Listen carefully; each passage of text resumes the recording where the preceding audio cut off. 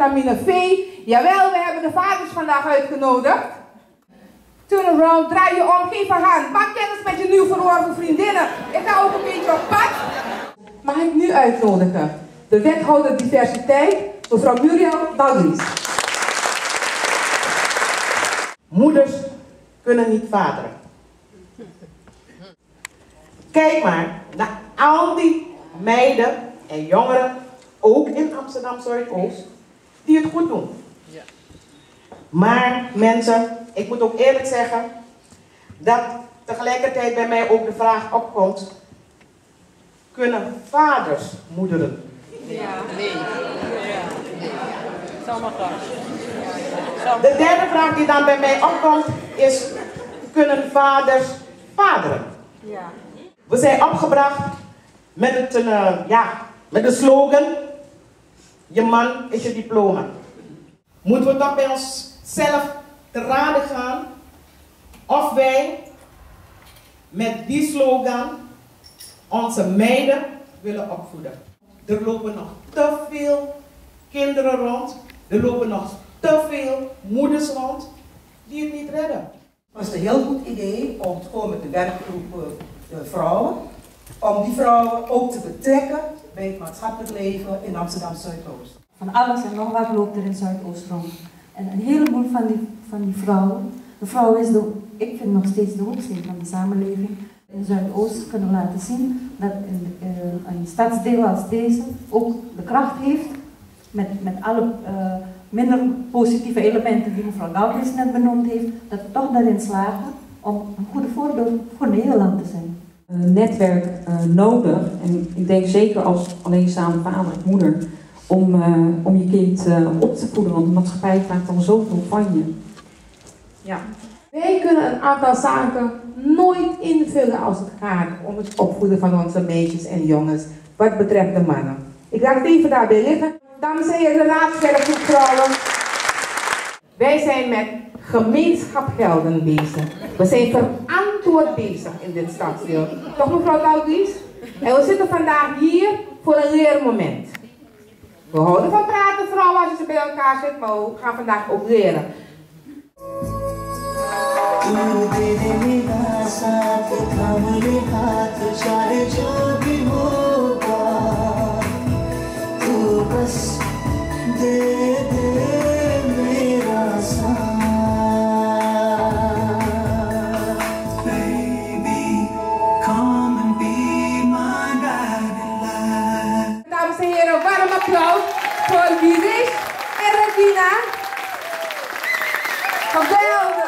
Mevrouw Tanja Jetnanan Singh, politica, Tweede Kamer.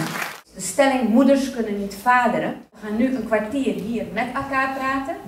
En vervolgens heeft u daarna ruim een uur om met ons weer verder te praten. Dus niet denken van man, wanneer komen wij eindelijk een keer eens een keertje aan zet. In onze organisatie zorgen we ervoor dat we mannen, en dan praten we over jonge mannen, oude mannen, jonge vaders, oudere vaders, om te brainstormen, te praten, zich open te stellen, te praten over pijn, praten over frustraties en, en leren luisteren naar elkaar. Jongens zeggen, ik hou onwijs van mijn moeder. Ja. Ze is me alles. Maar weet je wat ik nu mis? Mijn vader. En die kan er niet over praten, want als ik het zeg, trap ik op de tenen. Ja. En wat dan? Mannen houden van dingen en vrouwen houden van gezichten. Man en vrouw wonen samen en ze kopen beide een auto, maar die man neemt het op zich om die auto te verzorgen. Elke zaterdag gaat hij zijn auto wassen, hij poetst de banden. En als die vrouw vraagt, mag ik, die auto lenen, terwijl hij weet dat die vrouw mee gaat betalen, voelt hij een bepaalde pijn in zijn lijf. Die man kan zorgen voor iets zonder dat het iets echt direct reageert. Orville, jij, jij bent de, de oprichter van Vitamine V. Wat bezielde je? Wat ik moest doen, ik ben muzikant. En, uh, maar ik wist wel van, ik ben wel een vader. En dan kan je al heel veel betekenen ongeacht.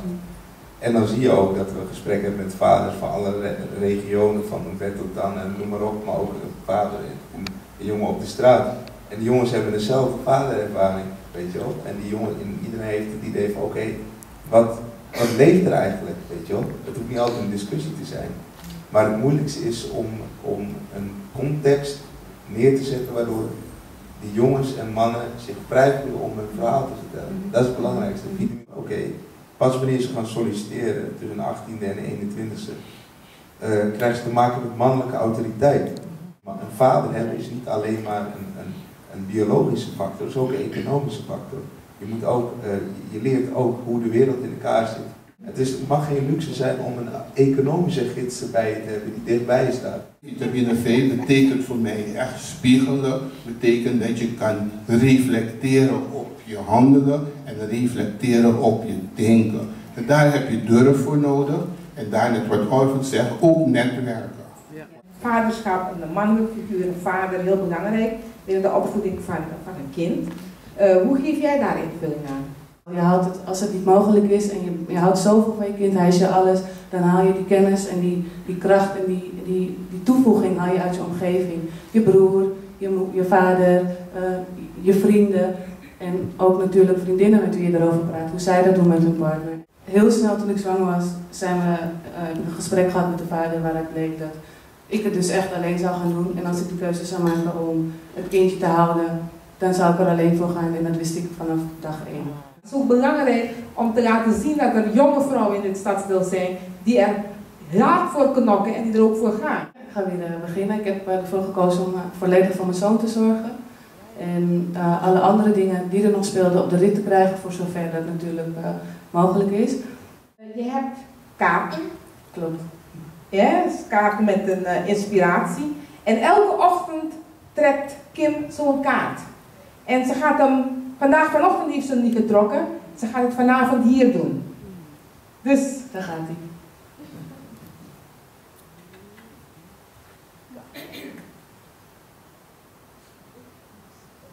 Nou, dit is echt een hele mooie kaart die ik trek voor hier vanavond. Ik heb namelijk getrokken, zie God en dien hem in elk levend wezen. Mooie afsluiting van nu hebben. Vaderen is meer dan alleen maar opvoeden. Dankjewel, Waldi. Het is, het is confronteren met, het is stoeien met. Die waren heel anders. Het was een, was een, was een entertainment. Dus uit Zuidoost, de moeders uit Zuidoost zijn fanatiek bij sporten, maar ze zijn heel luidruchtig. Dat is wel heel heftig. Maar die vaders ook, op een andere manier. Maar die vaders die staan in het veld. Die, hoort, die Nederlandse vaders die staan in het veld. Die staan vlak langs de kant van, hé luister jongen, zijn nog twee, weet je wel, die zijn met het spel bezig. En de moeders zijn bezig met de emotie van de jongen. En dat is het verschil wat ik heb gezien. En ik denk van, oké, mijn zoontje voetbal bij SV Diemen. En onlangs had hij zijn eerste training. En het was heel goed om te zien dat er zoveel, voor mijn generatie, vaders zijn. Die ook langs de kant staan en ook op afstand. Dus een positieve ontwikkeling. Doe het, maar doe het vanuit je hart en niet vanuit het vingertje. En je zult zien dat ze dat uiteindelijk enorm waarderen. Want liefde hebben we allemaal nodig. Absoluut. Ladies and gentlemen, dames en heren, Jerin Satoni. Waar praten wij vrouwen over als we uitgaan? Precies. En het mooie is, die vriendinnen van me, die man hebben, die kragen over hun man. En die vriendinnen die geen man hebben, zeggen, laat die man.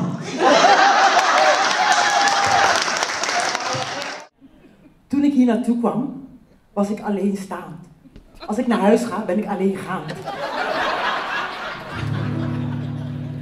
Maar het gaat even niet over die man.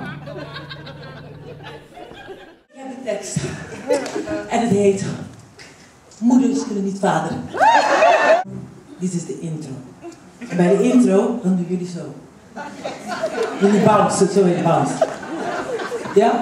Voelen jullie me? Kom, mag ik even, mag even de bounce zien? Kom op. Hey.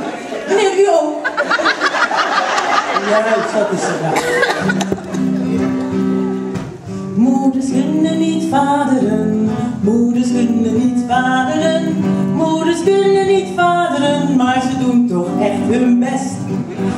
Wat betekent je? Om vanavond hier naartoe te komen.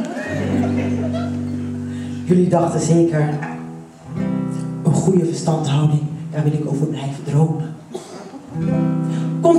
Een vader mag luxe zijn. En by the way, als moeder kan je ook een goede voetbalster zijn.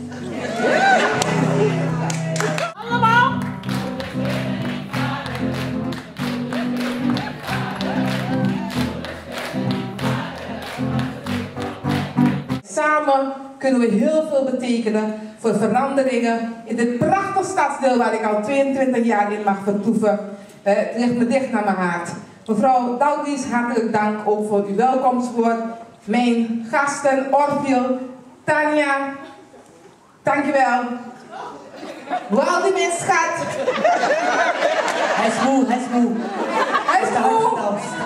Deskundig ben ik, Waldi. Ik ben niet moe, ik, hoopte niet dat je weer brief, had.